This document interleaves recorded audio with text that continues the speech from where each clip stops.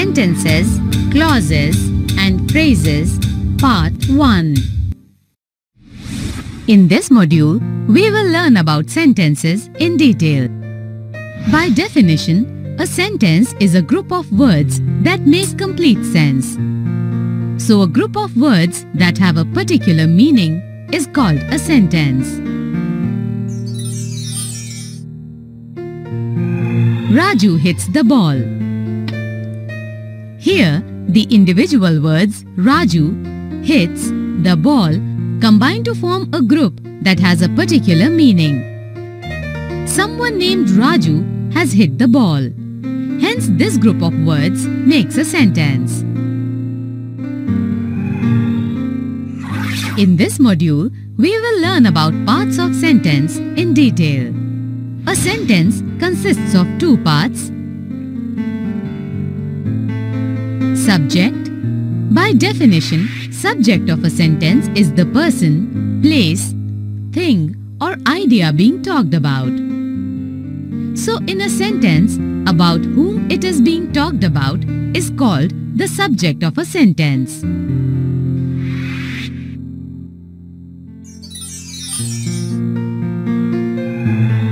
Saurabh is reading. Here, Saurabh is the subject of the sentence. He is the one about whom it is talked about in the sentence.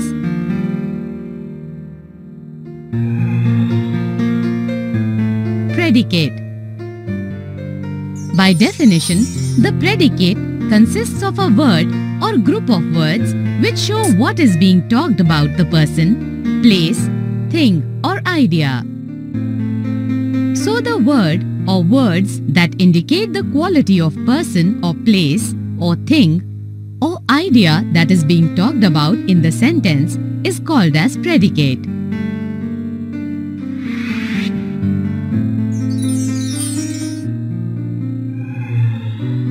He is driving.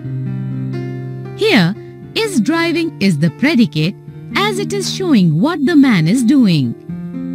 The man is driving. Or we can say that predicate explains about what is being talked about the subject of the sentence.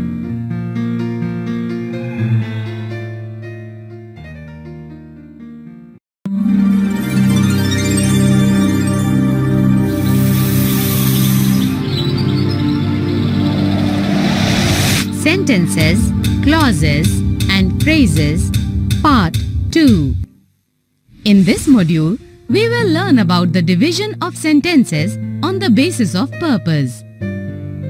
On the basis of purpose, sentences are classified as Declarative sentences.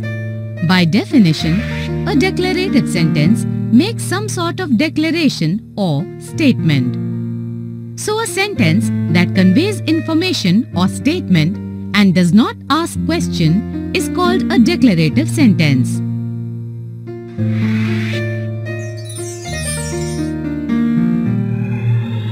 Arpita is a good speaker. Here is making an assertion or stating a fact that Arpita is a good speaker. Hence it is a declarative sentence. Interrogative sentences By definition, an interrogative sentence asks a question. So a sentence that does not convey information or statement but asks a question is called as interrogative sentence.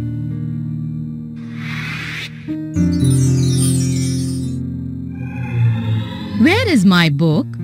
Here, the speaker of this sentence is asking something. Where is my book? Hence, this is an interrogative sentence.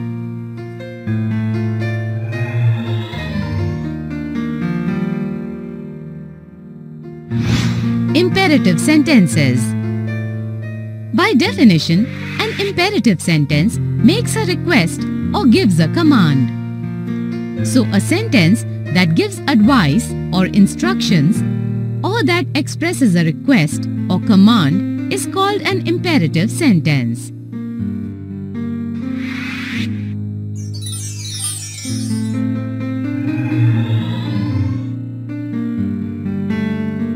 Open the door.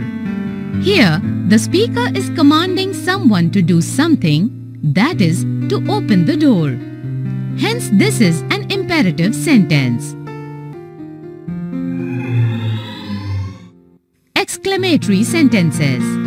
By definition, an exclamatory sentence expresses some strong feeling or emotion. So any sentence expressing sudden emotion is called exclamatory sentence.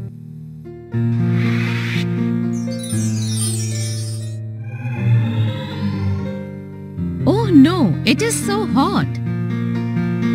Here, the speaker of this sentence is exclaiming her disgust about heat.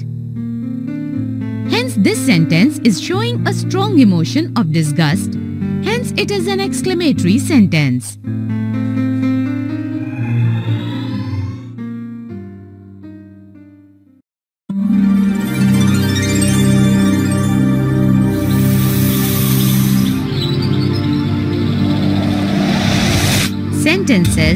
Clauses and phrases Part 3 In this module, we will learn about division of sentences on the basis of structure. On the basis of structure, sentences are classified as Simple sentences A simple sentence has only a single independent clause. So a simple sentence has single independent clause, clause that stands by itself and it expresses a complete thought. As you already know, clause is a group of words that contains a subject and a predicate.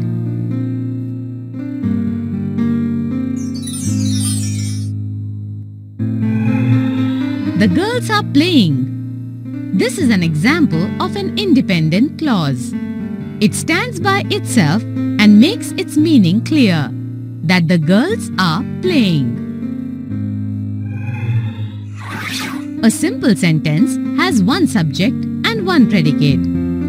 So in a simple sentence, there is only one person or thing being talked about and there is description of only one quality of one person or thing that is being talked about.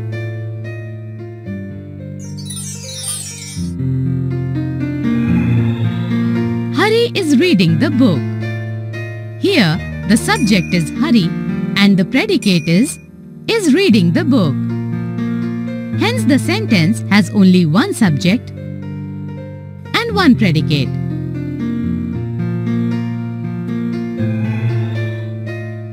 Two, a simple sentence conveys only one idea.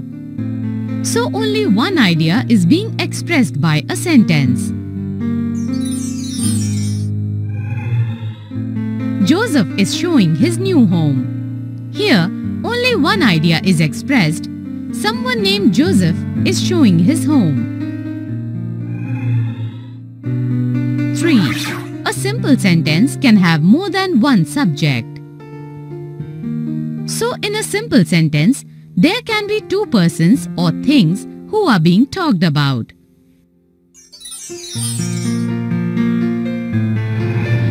Geeta and Seema are playing in the garden.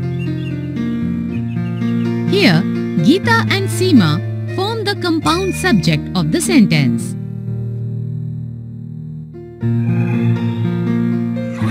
A simple sentence can have more than one verb. So a simple sentence can have more than one verb that shows action or state of being.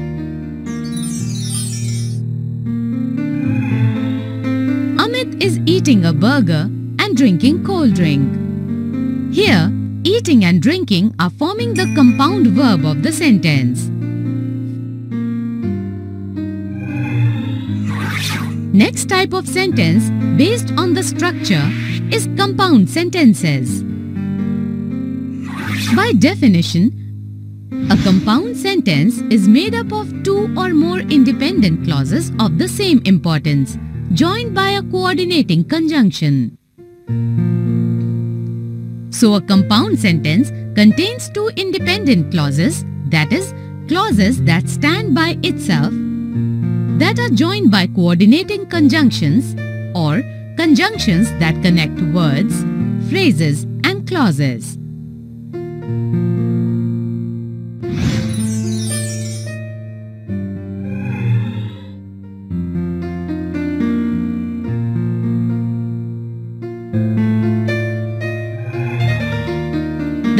Was dark, so we could not see anything. This sentence can be broken up into two independent clauses as follows. The room was dark, independent clause 1. We could not see anything, independent clause 2. Here, both the clauses are joined by the coordinating conjunctions so, showing that the idea contained in independent clause 2 or cannot see is the result of the idea contained in independent clause 1 or dark room. In the above example, the room is subject, was dark is predicate, we is subject and could not see anything is predicate. It is very important to note that a compound sentence has two or more main clauses and each clause contains a subject and a predicate. So a compound sentence, that is, sentence made up of two or more independent clauses of the same importance, joined by a coordinating conjunction, contains two or more main clauses with each clause containing a subject, that is, person or thing who is being talked about and a predicate that is quality of person or thing being talked about. Next type of sentence based on the structure is complex sentences. By definition, a complex sentence is made up of an independent clause and one or more dependent clauses. So complex sentence consists of an independent clause that is, clause that stands by itself and one or more dependent clauses that is, clause that does not stand by itself. 1. Each dependent clause begins with a subordinating conjunction or a relative pronoun.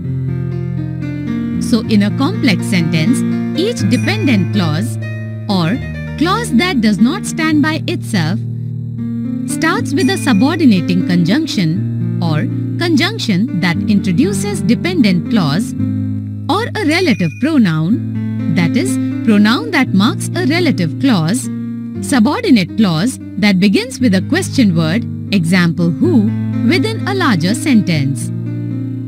2. The idea expressed by the independent clause is more important than the idea expressed by the dependent clause. So in a complex sentence, the idea shown by the independent clause, clause that can stand by itself, assumes more importance than the idea shown by dependent clause.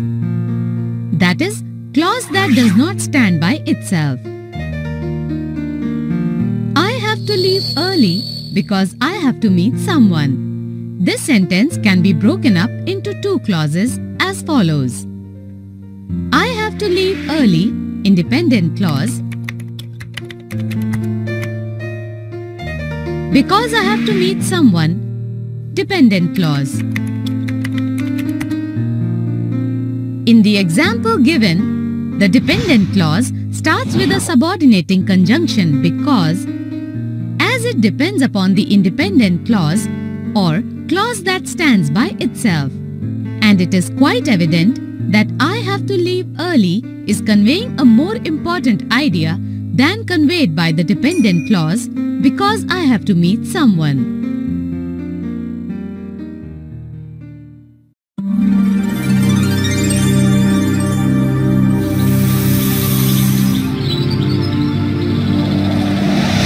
Sentences, clauses and phrases Part 4 In this module, we will learn about conditional sentences in detail. By definition, a sentence that is made to show that main clause depends on a condition, that is, the idea shown in the main clause is fulfilled on the condition that idea shown in the dependent clause is fulfilled is called conditional sentence.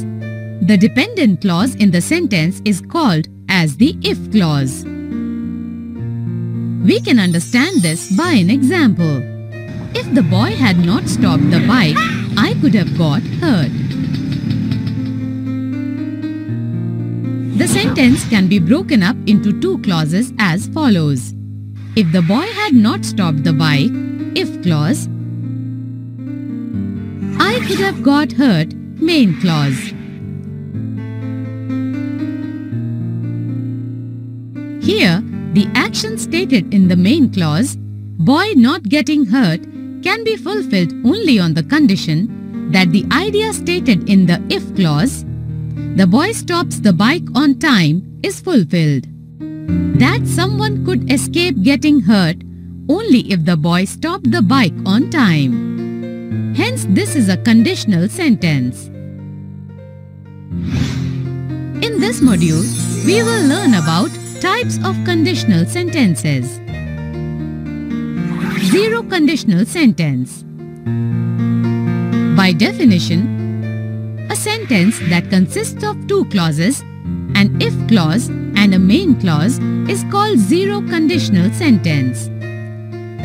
So sentences having two clauses, if clause and main clause is called zero conditional sentence.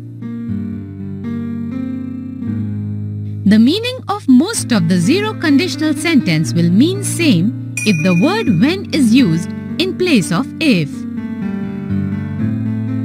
Zero conditional sentence is used for telling general truths, facts related to science, and things that generally happen under certain conditions.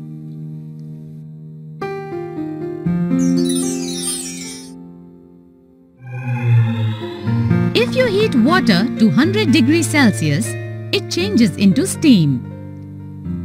In the sentence, a general fact about science is being told and it contains a if clause and a main clause.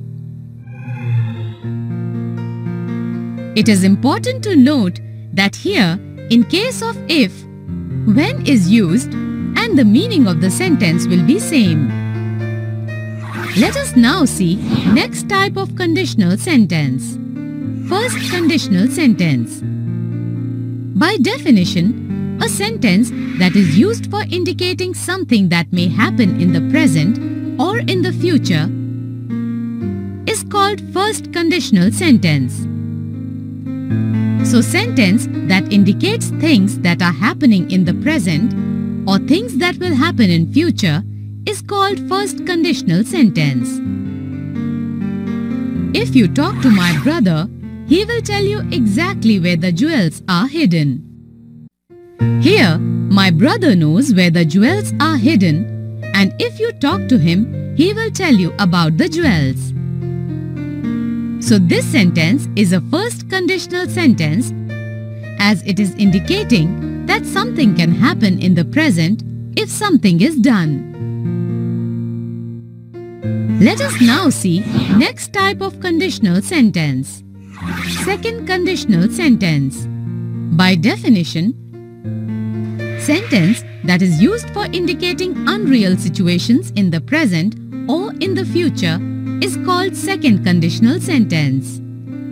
So a sentence that is used for indicating the unreal things that have not been happening in the present nor will they happen in future is called second conditional sentence. Generally, second conditional sentence is used to express a wish. If I were you, I would approach this issue in a different way. Here, a wish is expressed as, I wish I could be you. I could have approached this issue in a different way. So this is a second conditional sentence. Let us now see next type of conditional sentence. Third conditional sentence.